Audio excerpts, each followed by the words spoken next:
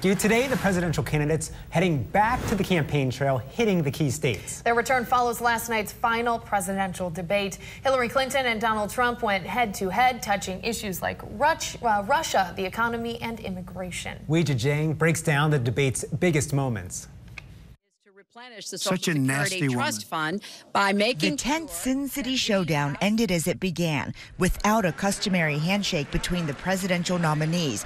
But one of the most controversial moments of the night came when Donald Trump refused to say whether he'd accept the outcome of the general election. I will tell you at the time. I'll keep you in suspense. That's horrifying. You know, every time Donald thinks things are not going in his direction, he claims whatever it is is rigged against him. At least three Republican senators, including Arizona's Jeff Flake, immediately condemned the remarks on social media, as did Clinton's campaign. This group of uncommitted voters was left divided. It'll inspire disconnection from a lot of the population from the political process. To say, no matter what the results are, I will be okay with it. Without knowing what's going to happen, I, I don't think anybody would do that about anything that was serious. The third and final debate here in Las Vegas was dominated by substance, from abortion to the economy to Russian interference in the election. Putin, from everything I see, has no respect for this person. Well, that's because he'd rather have a puppet as president of no the United puppet, States. No puppet. Both candidates addressed their looming controversies as well. Clinton on her family foundation. Everything I did as Secretary of State was in furtherance of uh, uh, our country's interests. And Trump on the numerous sexual assault allegations against him. I think they want either fame or her campaign did it. And I think it's her campaign. Voters get their say in less than three weeks when they head to the polls on Election Day. Weijia Jiang, CBS News, Las Vegas. And tonight, Clinton and Trump will both deliver remarks at the Alfred Smith Memorial Foundation dinner that's in New York. The event benefits charities that serve New York's neediest children.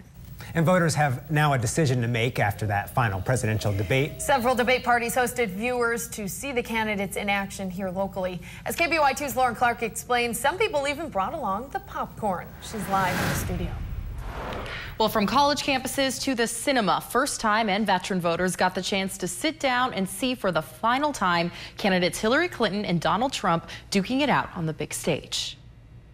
Several people showed up to Edwards 21 Theater last night but not to watch a movie. Instead, they watched the presidential debate on the big screen. But some said it was pretty close to entertainment. To watch the back and forth and the lying and the laughing and the audience, I much preferred being here at the theater rather than at home. The theater was one of 400 across the country that participated in showing the debate, allowing viewers to come in for free. It was spectacular. I, it was an experience I did not expect. I came here for sort of the group experience, but to see both candidates in a format that was literally larger than life. Boise State students also had the opportunity to tune into the debate. At the Stueckle Sky Center, several students and professors watched Hillary Clinton and Trump, but many in the audience already knew who they'd be voting for before the event began. I really wanted to hear more of um, their actual plans, like specifically with the economy. A panel of professors were also on hand to give their input.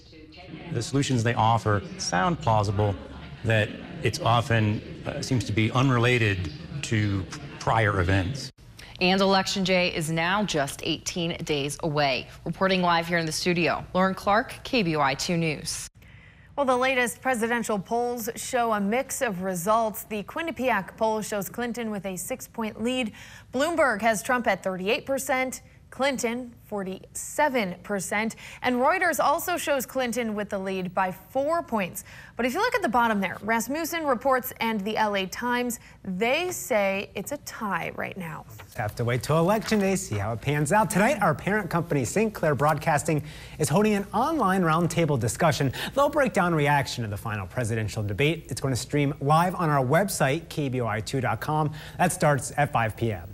And a reminder, you don't have to wait until November 8th to cast your ballot. Early voting is now underway in Ada and Canyon counties.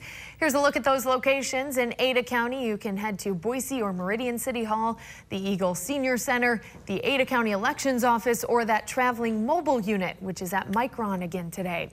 And in Canyon County, you can cast your early ballot at the Elections Office in Caldwell.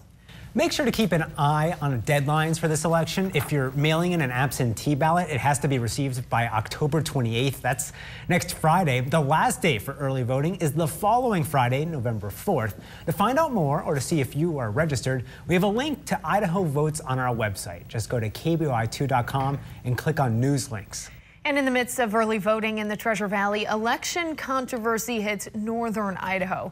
A prosecutor is asking our attorney general to investigate complaints of voter intimidation. The Idaho Democratic Party says it pulled a campaign worker from a district that includes Bonner and Boundary counties. Police reports say that volunteer was approached by supporters of a Republican state representative who intimidated him.